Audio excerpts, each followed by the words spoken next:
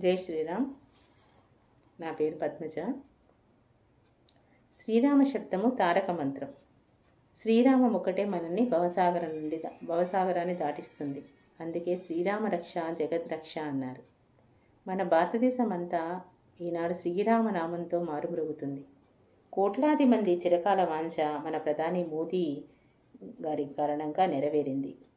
రామో విగ్రహవాన్ ధర్మ అన్నారు.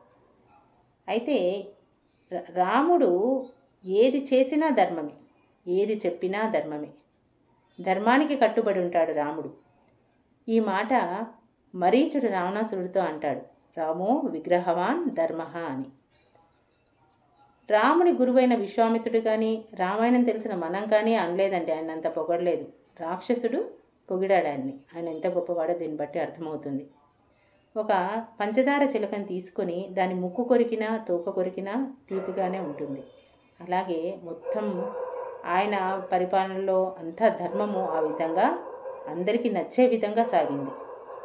రామ అనే శబ్దము అమృత బీజం వంటిది. అయితే ఈ మంత్రం మన పాపరాశిని ధ్వంసం చేస్తుంది. ఆ పాపరాశి మనను దరిచేయనియదు. పాపాలను మన దగ్గరికి రానివ్వదన్నమాట. అయితే ఈ భూమి మీద ఉన్న ఎనభై నాలుగు కోట్ల జీవరాశుల్లో భగవన్నామ స్మరణం చేసేవాడు మనిషి ఒక్కడే.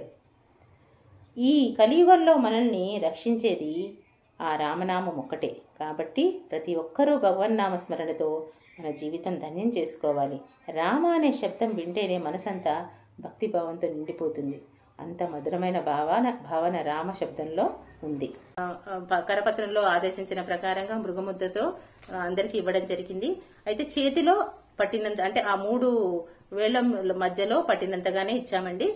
అయితే వాటిని వృద్ధి చేసుకోవాలి. వృద్ధి చేసుకోవడం అంటే ఏంటంటే మన ఇంట్లో కూడా అక్షంతలు కలుపుకోవాలి. తర్వాత అయ్యో అక్షంతలతో దాన్ని కలపాలి. దానివల్ల అవి వృద్ధి చెందుతాయి. ఇవి దేవుడి దగ్గర పెట్టుకోవాలి. తర్వాత దే- లక్ష్మీదేవి స్థానమైన మన అల్మారాలో కూడా బీరువాల్లో కూడా పెట్టుకోవాలి దాన్ని. తర్వాత దేవుని మందిరంలో రోజు పూజ చేయాలి వాటికి. నాన్ వెజ్ అది తినకుంటే ఇంకా మంచిదండి. అయితే ఇరవై రెండో తేదీన ప్రాణప్రతిష్ఠ జరుగుతుంది కదండి జనవరిలో.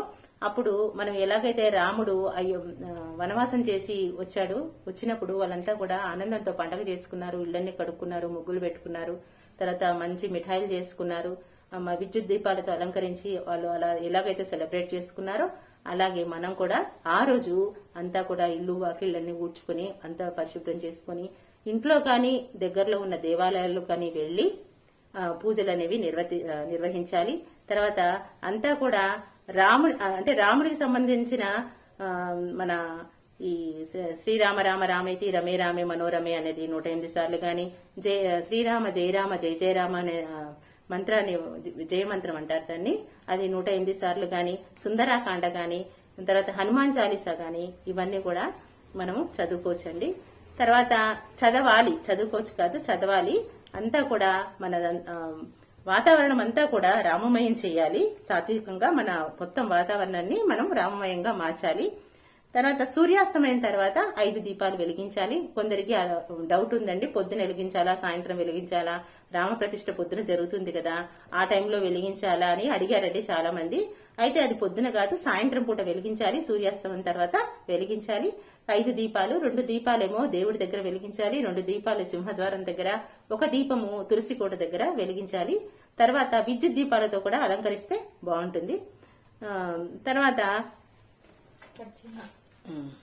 తర్వాత మనమంతా కూడా రామ భజనలతో అంతా రామమయం కావాలి. రామమయం జగమంతా రామమయం అని మన రామదాసు పాడిన విధంగా మనమంతా కూడా మన భక్తితో మన మొత్తం వాతావరణం అంతా కూడా రామమయం చేయాలి. శ్రీరామ రక్ష జగత్ రక్ష సర్వేజన సుఖినో భవంతు. రాముణ్ణి ఆహ్వానిస్తూ చిన్నకు మీకు తెలిసిన పాటినండి. మంగళకరమౌ నీరాక ధర్మానికి వేదిక అవుగాక నీ జీవనమే ఇక పావనమౌగాక నీ పాలన శ్రీకరమౌగాక సుఖశాంతులు సంపదలిడుగాక నీ రాజ్యము ప్రేమ సుధామయమగుగాక జగదానందకారక జయ జానకి ప్రాణనాయక శుభ స్వాగతం ప్రియ పరిపాలక జగదానందకారక జయ జానకీ ప్రాణనాయక శుభ స్వాగతం ప్రియ పరిపాలక శ్రీరాముని ఆహ్వానిస్తూ నాలుగో వాక్యాలండి. ధన్యవాదాలు. ఇంకేమన్నా అదే అయితే మళ్ళీ ఇట్లా.